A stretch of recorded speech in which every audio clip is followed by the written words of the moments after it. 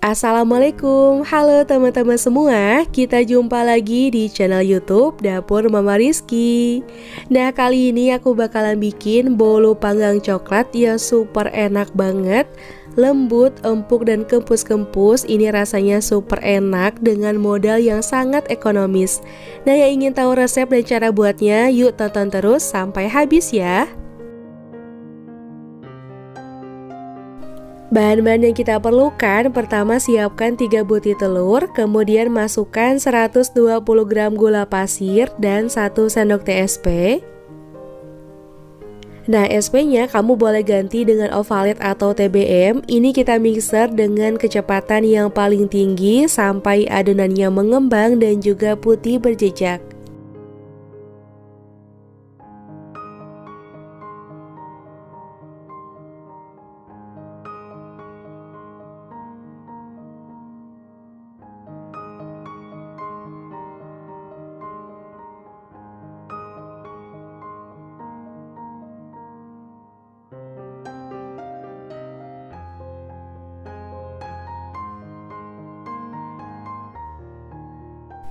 Setelah tekstur adonannya mengembang dan juga putih berjejak, nah sekarang kita masukkan 150 gram tepung terigu.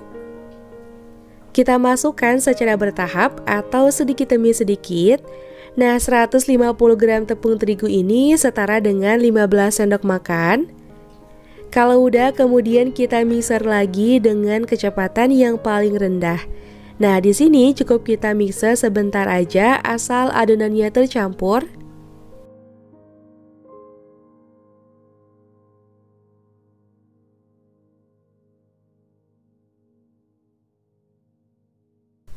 Selanjutnya masukkan semua sisa bahan tepung terigu tadi. Nah kalau udah kita mixer lagi dengan kecepatan yang paling rendah aja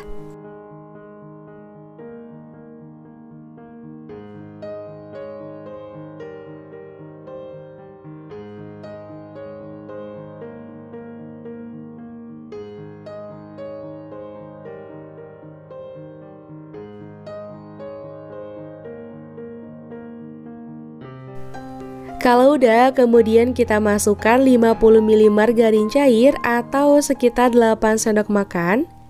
Nah ini dimixer lagi hingga rata menggunakan kecepatan yang paling rendah. Ini cukup kita mixer sebentar aja karena setelah ini kita akan aduk lagi menggunakan spatula. Nah kalau udah tercampur rata seperti ini, ini udah cukup lalu kita matikan mixer. Ambil secukupnya adonan, di sini aku ambil kurang lebih 2 sendok makan untuk membuat motifnya nanti. Setelah itu sisa bahan kita tambahkan dengan satu bungkus creamer kental manis coklat. Dan kita tambahkan juga dengan 2 sendok makan coklat bubuk atau 20 gram. Ini kita ayak supaya teksturnya lebih halus, tidak ada bahan yang menggumpal ataupun tidak ada bahan yang bergerindil Kemudian kita mixer sebentar aja asal tercampur menggunakan speed yang paling rendah atau kecepatan yang paling rendah.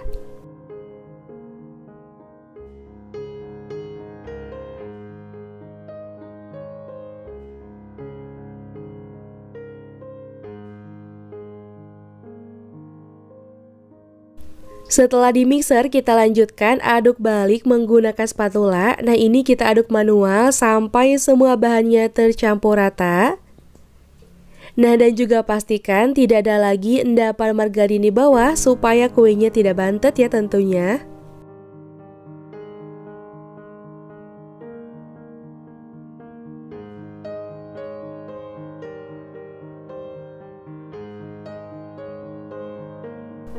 Setelah tercampur rata, lalu tuangkan ke dalam loyang. Pastikan loyangnya sudah diolesi dengan margarin atau dengan mentega. Nah ini kita tuangkan semua adonan coklat ke dalam loyang.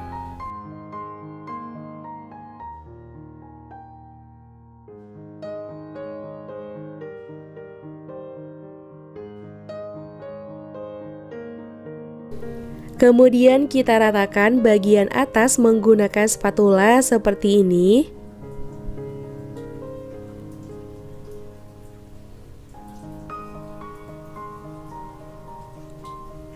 Nah, setelah diratakan menggunakan spatula, di sini aku ratakan kembali menggunakan tusukan sate atau lidi, boleh juga menggunakan sumpit. Nah, proses ini juga bisa teman-teman skip ya. Kalau udah rata seperti ini, sekarang kita tuangkan adonan yang berwarna putih yang sudah kita sisihkan tadi. Ini aku simpan di bagian tengah-tengah loyang seperti ini di bagian atas. Kemudian tinggal kita buat motifnya nanti menggunakan lidi atau menggunakan tusukan sate. Untuk motifnya bebas tergantung selera teman-teman di rumah.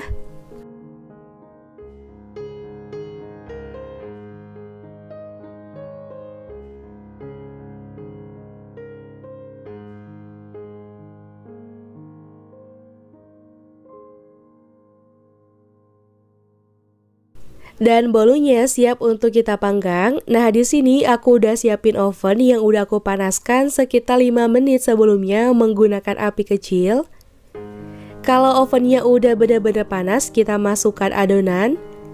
Kemudian kita panggang dengan api kecil kurang lebih selama 50 sampai 60 menit tergantung kompor masing-masing, waktu bisa bervariasi.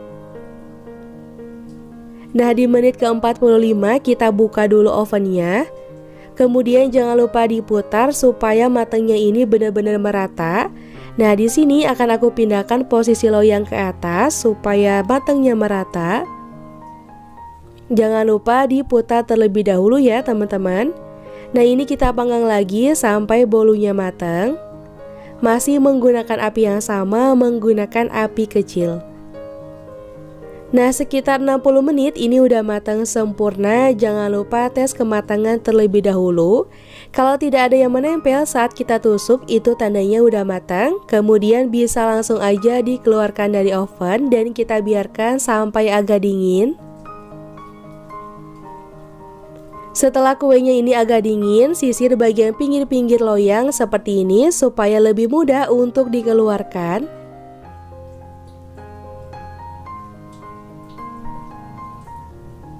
Nah setelah selesai disisir baru langsung aja kita keluarkan dari loyang atau dari cetakan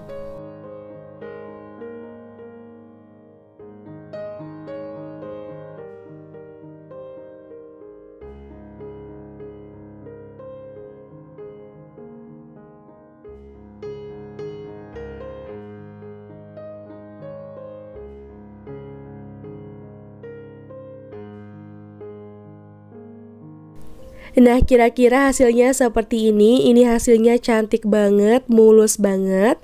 Kalau udah benar-benar dingin, kemudian kalian bisa langsung aja potong-potong tergantung selera. Hasilnya lembut, empuk, dan ini rasanya beneran enak banget. Dengan modal yang ekonomis bisa menghasilkan kue seenak ini. Sangat cocok dijadikan ide jualan.